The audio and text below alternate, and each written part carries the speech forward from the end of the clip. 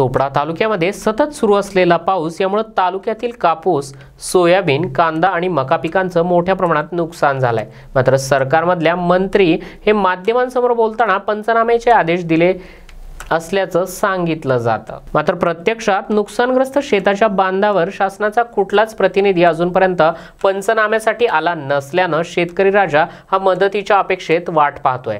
तात्काळ पंचनामे करून काहीतरी मदत मिळवून द्यावी ही अपेक्षा शेतकरी राजा करतोय. आठ दहा दिवसापासून सतत पाणी चालू असल्यामुळे संपूर्ण सोयाबीन हे पूर्ण आठ ते दहा एकर संपूर्ण वायभार गेलेले आहे.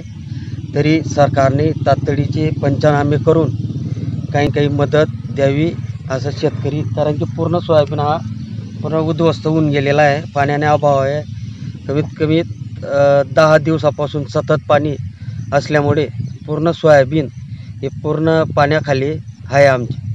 पंचनामे करण्यासाठी पंचनामे करण्यासाठी लवकरात लवकर गव्हर्नमेंट माणसांना आदेश द्यावे असे सरकारला विनंती करतो. अजूनपर्यंत पंचनामे अजूनपर्यंत पंचनामे काही कोणी लक्ष देत नाही आहे तशी लक्ष द्यावे पंचनामे करण्याची.